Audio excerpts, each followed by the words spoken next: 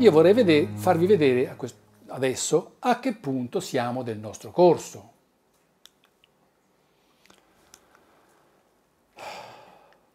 Cioè noi stiamo oh, elaborando, cioè stiamo, um, non elaborando, sono già elaborati, stiamo applicando alcuni canoni interpretativi. Cioè noi, questo corso è per capire vedere di capire qual è il nostro carisma. Per capire il carisma, per capire, la, o volete dire i valori oblati, o la spiritualità, o lo spirito, quello che volete, occorre lavorare con una certa metodologia.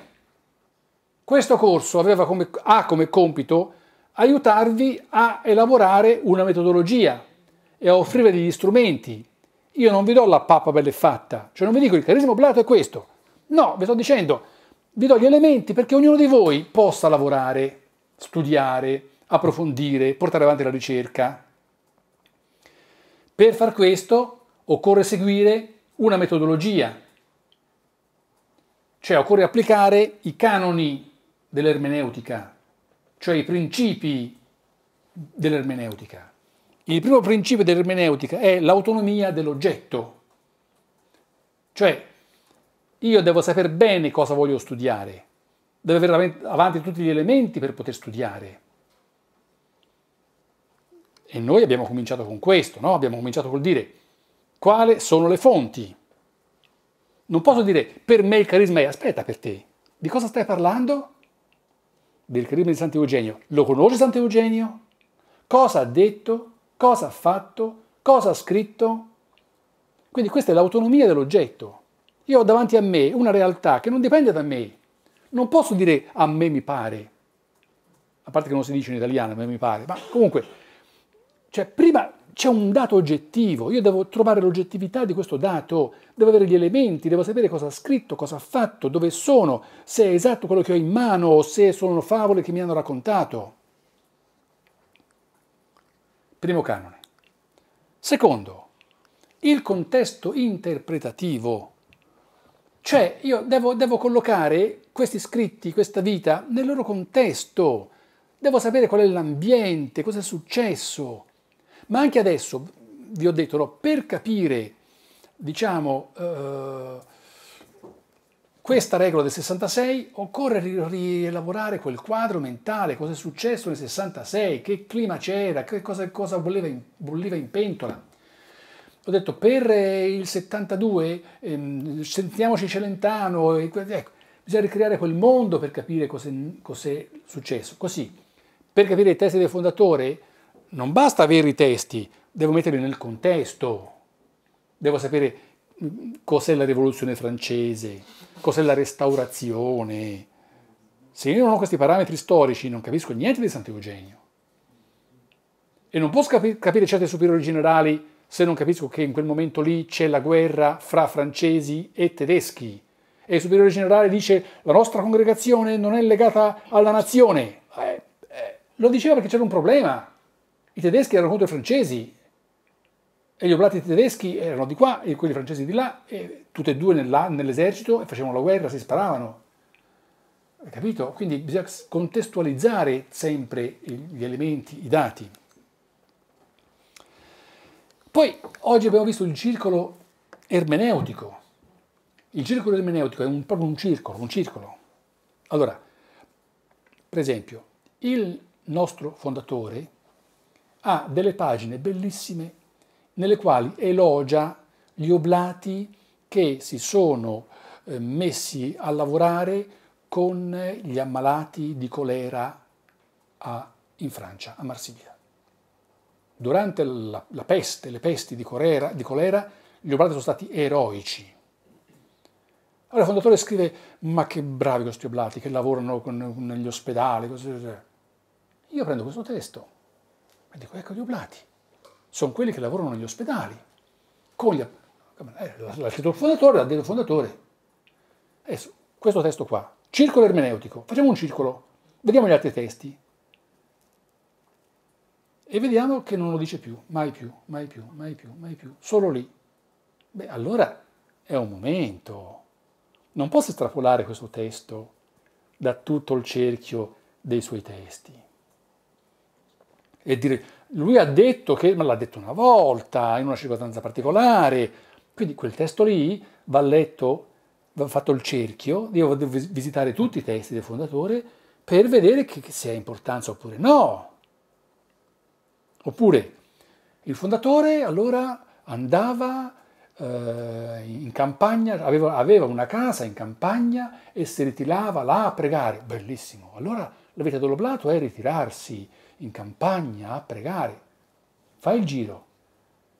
E, e vedi che questo, questo povero uomo è sempre su per le scale a trovare la gente, è di corsa di qua e di là, di questo, ma allora la sua vita non era ritirarsi in campagna, cioè quando non ne poteva più si ritirava in campagna, fai il circolo, capite cosa vuol dire circolo, circolo ermeneutico? Cioè circolo per capire i vari momenti e le varie... Ma poi c'è anche un altro circolo, che è un circolo che parte dal fondatore e arriva a me. È quello che abbiamo visto oggi. Cioè, io non posso andare direttamente dal fondatore, devo passare attraverso gli altri e dire, tu come l'hai, capito, tu come l'hai capito, tu come l'hai capito, tu come... Cioè, vado da lui facendo un cerchio, passando attraverso tutti voi, cioè, attraverso tutte le persone che vi, ho, che vi, ho presentato, vai da ogni superiore generale. Non sei tu il primo che, che, che, che studia il carisma di Sant'Eugenio. Allora, se sei intelligente, fai un cerchio, no? E domandi agli altri come l'hanno capito, come l'hanno capito. E tu dirai, ma sì, mi pare di sì, mi pare di no, ma almeno as- ascoltali, come loro l'hanno interpretato. Non posso fare un salto. È da stupidi. E poi, poi ritorno e faccio il circolo. Torno a me, ecco, adesso lo capisco meglio. Perché sono passato attraverso tutti loro, sono andato da lui, ritorno qua, che comprensione più profonda che ho adesso.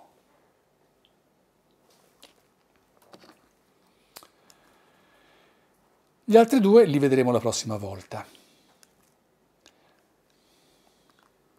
Volevo farvi un esempio, no? Io su questo qui ci... Quando faccio le mie lezioni, appunto, che spiego, perché io faccio un corso solo sulla metodologia proprio, no? E quindi per spiegare questi, questi canoni ermeneutici io spendo un'ora su, su Ungaretti, questo mio amico, no? questo grande poeta, tutti conoscono questo poeta? No, non tutti, non tutti, va bene, certamente. È uno dei più grandi poeti italiani del 1900. Allora, chi non lo conosce oggi impara la poesia più breve che esista in italiano, è la più bella, la più breve la più bella. Mattino mi illumino d'immenso. Ah. Allora, Primo canone, l'autonomia dell'oggetto. Cioè, io devo mettermi davanti a questa poesia. Ora devo dire, ma io apro il libro e leggo questa poesia. Ma l'hanno copiata bene questa poesia o no? L'ho scritta così veramente o no? Eh, prima devo sapere se, se, Prima di dire questa poesia mi piace, questa non mi piace, prima che cosa, che poesia ha fatto lui? Siamo sicuri che questa è la poesia giusta? l'autonomia dell'oggetto. Occorre rispettare quello che lui ha scritto, come l'ha scritto. Allora bisogna studiare, fare un lavoro filologico. E allora trovo la cartolina che ha mandato a un suo amico dove c'è questa poesia. La, la prima che ha scritto è una poesia, l'ha scritta. E in questa cartolina c'è scritto, eh, c'è scritto cielo e mare. Mi illumino d'immenso con un breve moto di sguardi. Questa è la prima poesia che ha scritto su una cartolina a un suo amico. Allora, questa è la poesia, non quell'altra. Questa poesia è, si intitola Cielo e mare, non mattino. Si intitola Cielo e mare. Ed è questa.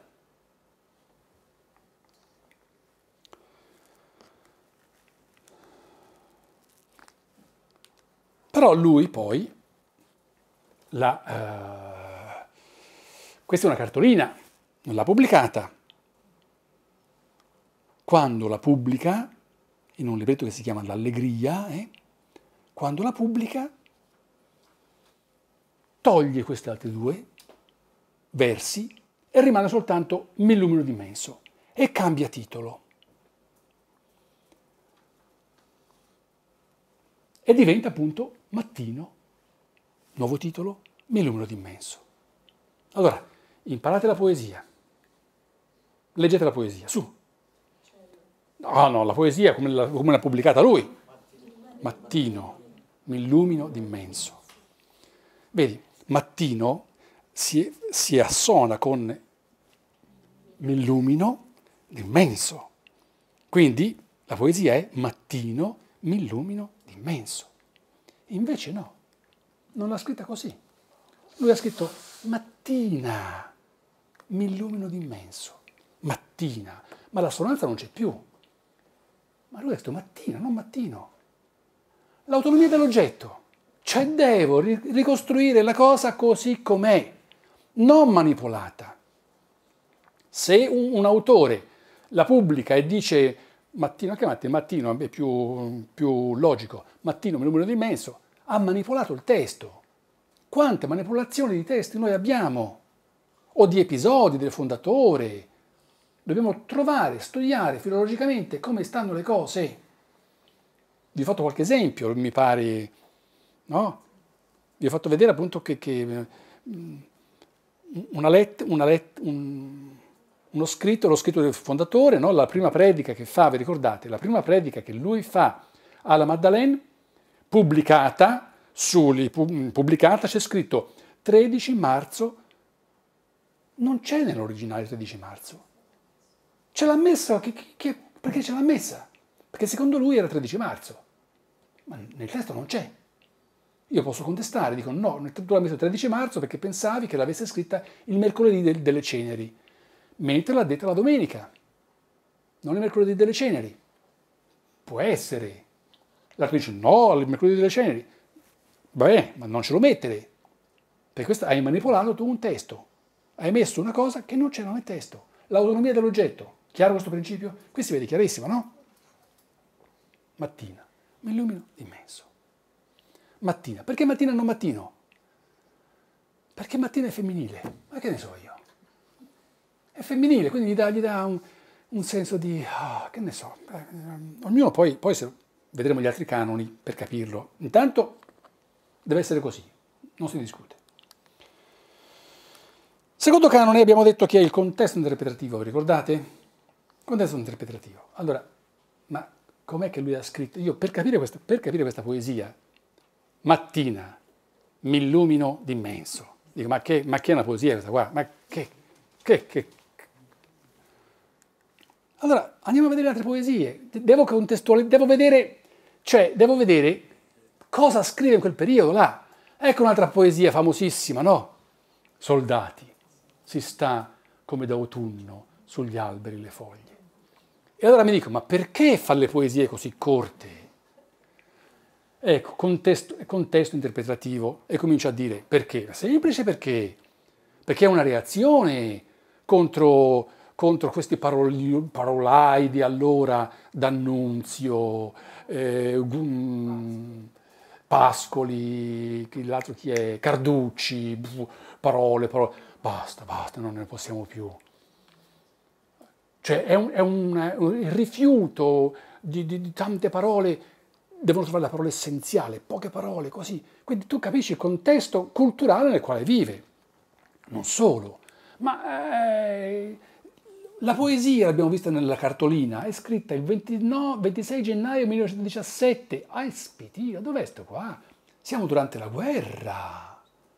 E dove siamo? C'è un posto particolare, devo andare a vedere dove l'ha scritta per capirla. Per capire la poesia devo andare a vedere il contesto, dove è stata scritta, quando, dove. E lui è soldato, è la prima guerra mondiale, quello qua è in trincea. Lui è in trincea mamma mia, in trincea. Hanno paura, hanno fame, hanno freddo, perché a gennaio fa freddo, siamo sulle montagne, fa freddo, c'è il fango, una notte d'inferno, la mattina, La mattina, dopo stanotte impazziti, cosa si vede da lassù, da Santa Maria la Longa? Eccolo qua! La mattina si vede il mare così. Ma mi illumino d'immenso. Che respiro che ha fatto. Cioè io, se non colloco quella poesia nel suo contesto letterario, geografico, storico, non la capisco. Se capisco la situazione nella quale lui vive e che mat- la mattina è una resurrezione, dopo la fame, la, il fango, la, l'acqua, cioè, no? Terzo, circolo ermeneutico. Allora, io devo vedere questa, questa, questa poesia dove l'ha scritta, cioè negli altri suoi scritti, allora devo leggere tutto il libretto nel quale lui ha scritto. Ma poi, eh, eh, poi non solo, ma devo, devo, andare a vedere gli altri cosa, come hanno letto questa poesia. Non sono mica il primo che la legge. Faccio il circolo ermeneutico e trovo ma quanti autori che hanno scritto su questa poesia, ma guarda qua, questa è una piccola bibliografia. Guarda quanti autori che scrivono sulla poesia di Angueretti.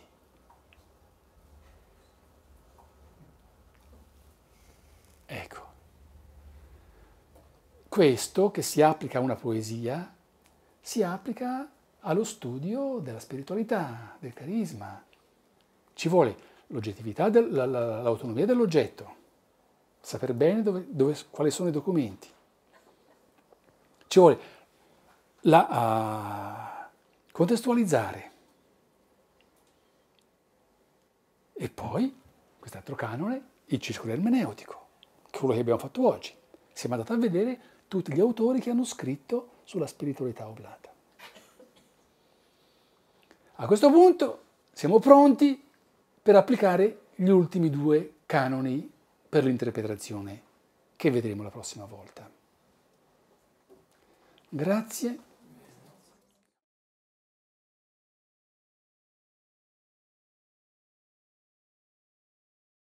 Thank